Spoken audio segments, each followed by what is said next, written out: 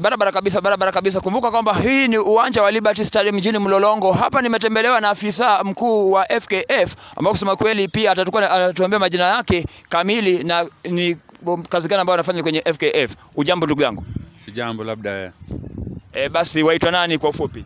naitwa Dennis Kadenge Naam. aka Lofty, chairman wa hapa Mavoko Sub County FKF, Football Kenya Federation. Naam. Yeah. E, basi tumeona kwamba kuna hafla ambazo kusema kweli leo zime, zimeandaliwa hapa. Je, mlikuwa mmeitwa ama mlikuwa mmekuja kama vipi?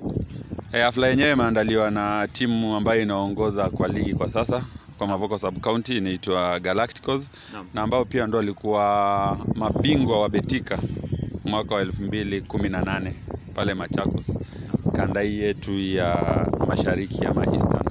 So ndo mabingwa na pia wamekuwa na vikombe kadhaa na Mheshimiwa Makau, kumekuwa na Mheshimiwa Wavinya, so ni kama walikuwa wanakuja kusherekea juu tunamaliza mwaka wakifurahia na kutuza wale wachezaji wao. Ilikuwa ni internal awards, lakini hata sisi kama federation, kwa maana tunafanya kazi nzuri, pia wametutambua. Ukiona kama hapa, hii ni medali yangu, wamenitambua kwa ile kazi njema tunafanya. Tulianza mwaka wa 2015 hadi sasa na tunaendelea. Timu zimeongezeka nyingi, tulianza na timu kaa kumi na tatu sasa hivi tunaelekea mia moja sitini. Tuna ward league, tuko na sub county, tuko na county na kila kiwango ama kila ngazi kuna timu zetu.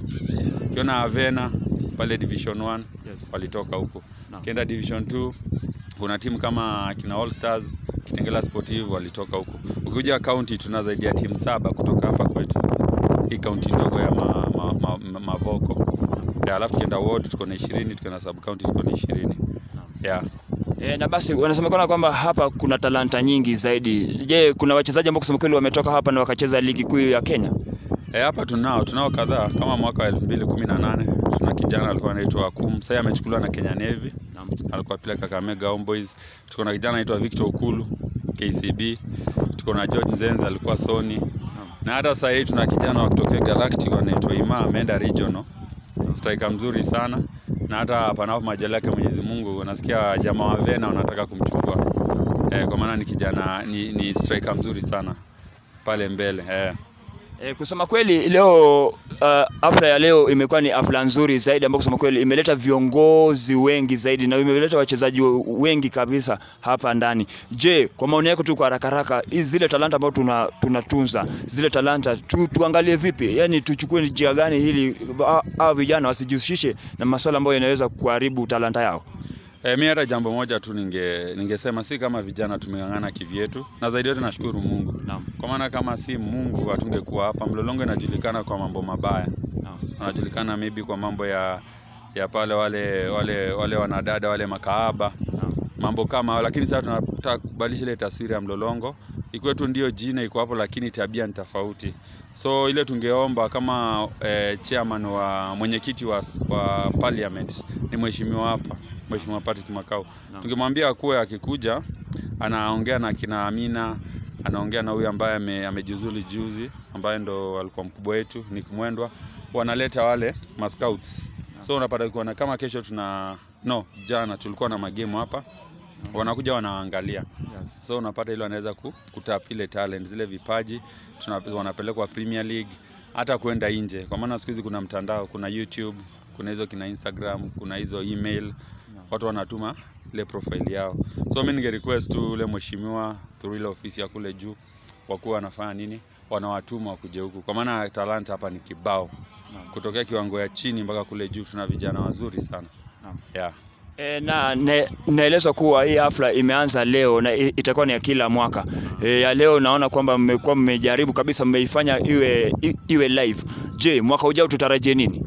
Mwaka ujao mi najua mtarajie zaidi, na kabla tuende mwaka ujao Naam.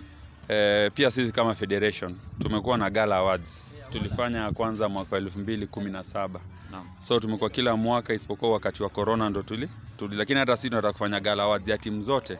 Kutokea kule World League kutoka hapa sub county county zile timu za hapa zote tuwa recognize wale wame excel in different hizo tiers. Tuna recognize kama tumekuwa na best team best player top scorer coach na hata mashabiki eh, na pia zile ma media houses zimekuwa zikitusupport so tutakuwa na federation Mungu akijalia mwezi wa nne kabla twende Pasaka panapo majali yake Mwenyezi Mungu Naam. eh, Kuna ile dhana kuwa FKF hawatembei mtaani kuja kuangalia talanta. Je, uweza sema vipi kama afisa mkuu wa FKF kuhusu swala hilo? Eh, najua tu hiyo tu ni dhana, lakini hakuna ushahidi wa kutosha, kwa maana sisi huwa kila Jumapili ama kuwa na mechi yote kwa tournament kwenye ligi, si huwa pale na hata mi sasa naweza kuambia Galactico unajua best defen- defender pale, best midfielder namjua, best striker, best goalkeeper, kwa maana nimekuwa niki nikiingiana nao mara kwa mara, game zao nakuja, hata ile timu iko chini kama inaitwa Lucky Warriors pale najua kuna midfielder mzuri, so si waga nao na waga hizi trials zikitangazwa, si waga tunapea platform, but shida ni ile sasa, lazima pia kuendelea financial support kutoka kwa kama mheshimiwa wetu kama MCA hapa, yani wote wakuje pamoja. County government pia tungewa request, kwa maana kuna allocation ya sports kubwa sana, lakini hata hatuoni inafanya kazi gani pale. CDF wamejaribu kiasi, lakini sasa county government kidogo wanatuenjoy yeah. Na kusema kweli ni changamoto gapi yapi ambayo mnapitia nyinyi kama maafisa wa FKF? Kumbuka kwamba lazima muwe na changamoto. Changamoto zipi ambazo mnapitia uwanjani, wachezaji na hata masuala na mpira? Changamoto kubwa ni eh, resources. Unapata kama hii kiwanja hii hapa, hii ni shamba la mtu. Kwa hiyo akiamua kesho akuja weke huu hapa, sisi wote tumepotea mlolongo. So tungeomba county, ndio nasema county government because sports is a devolved function. Hao ndio nafaa tuprovide kiwanja. Alafu hapa tuko na zaidi ya timu 30 mlolongo. Kiwanja ni moja, mazoezi hapo unapata zaidi ya timu 20. Ah, Changamoto nyingine ni kama sisi tuko pale kwa ofisi. Sisi tumejitolea. Tunafanya on voluntary basis. Hakuna mshahara, hakuna chochote. So unafanya juu ya passion. So tungeomba hata county government wakila wakienda kila sub county kwa fact in hizo ofisi at least wanapeana kitu. Eh, E, basi swali langu la mwisho kwako uh, afisa wa FKF. eh, swali langu la mwisho kwako ni hivi.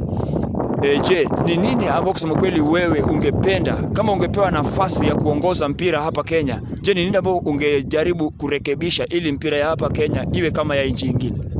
Mi jambo la kwanza ningejaribu kuleta corporate world uh, makampuni. Ningewaleta pamoja, alafu turudishe zile zile timu zetu za kitambo, zile traditional teams kama Gor Mahia FC, unapata kulikuwa na Shabana, kulikuwa na Laskan, hizo timu za kila region, so upate pia kuna ile tamaduni, unapata sasa mafans watakuwa na ile drive wakienda kusupport community ya.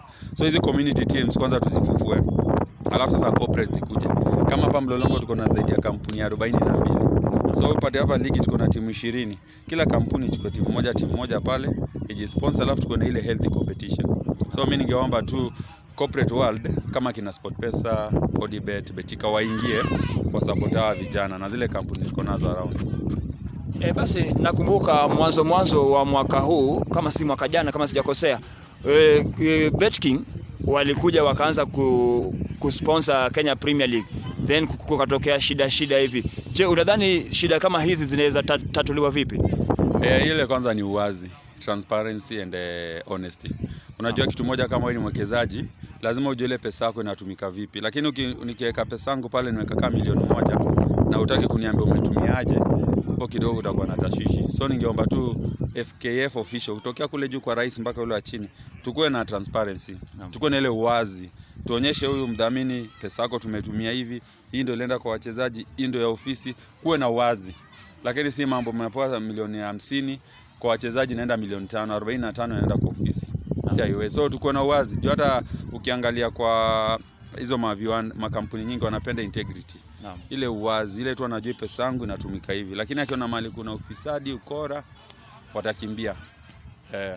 E, basi swali langu la mwisho kwako Lofty ni kuwa je, ungeamka kesho upate kwamba wewe ndio afisa wa FKF, wewe ndio president wa FKF, ni mambo gani ambayo ungechange katika football ya Kenya? Ionekane ni kwamba imeenda kiwango cha juu? Je, ni mambo ngapi mawili matatu ambayo ungebadilisha kulingana na taswira ya sasa, sasa hivi? E, mi kwanza ningeenda kule nje, kule nje kuna watu kama kina UNICEF e, kuna kuna kule Uarabuni kule Qatar kuna kama hizo kina Aspire Academy. Kuna watu wengi kule ng'ambo wanataka kusaidia vijana huko Afrika. Kwanza ningetengeneza ile rapo, ile uhusiano mzuri nao, alafu kutoka hapo sasa tuonyeshe vijana watrainiwe, si mpira tu, watrainiwe life skills, entrepreneurship. Kwa maana na mtu kama kama vijana wetu akina Wanyama, akina Mariga, kiungo akina Motego, mtu anacheza mpira kisha acha anateseka kama George Waweru sasa hivi Naam. ako kwa Kaosh na ule alikuwa mchezaji mzuri sana. Ukiona kina John Odhiambo siku ya nani Renard Fabish. Naam. John Odhiambo sasa hata ni kama julikani aliko. So upate tukuwe na plan ya kurecognize our veterans na pia watrainiwe pia mambo na entrepreneurship, life skills, wakuwa na invest. Naam. Anasa itolewe kwa maana wachezaji wetu wanapo, wanapotea ya anasa. Eh, Hapo umeongelea kuhusu wachezaji ambao kusema kweli walicheza mpira hali ya juu hapa Kenya na pia maisha yao yakaja yakakuwa maisha ya kawaida. Mm. Namkumbuka mchezaji wa FC Leopard Martin Mbalambala ambao kusema kweli saa hizi hana uwezo wa kuona na FKF haijachukua hatua yoyote ili uweze kusaidia familia ile. Na kulingana vile umesema, mimi ningependa kabisa kama Kenya mashabiki wote wanasikiza hapa Kenya na ile team kamati ambayo imechaguliwa na CS Amina Mohamed ingeweza ku, ku, kuangalia mtu mwenye ana maono kama yako ingekuwa ni nzuri zaidi. Lofty, mimi na- na- kila la heri kwa azimio lako la kuwa afisa kwenye FKF. nashukuru. Asante kabisa. Kumbuka kwamba mchezaji nimekuwa nimekisema naye afisa mkuu kutoka FKF bwana lofti ambao kusema kweli amesema nasi kuhusu masuala ya afla ambayo kusema kweli imeandaliwa leo siku ya leo katika uwanja huu wa Liberty Stadium. Kumbuka nikiripotea Young Chelsea TV kutoka maeneo ya Liberty Stadium mjini Mlolongo, langu jina ni Kwanzu Elija.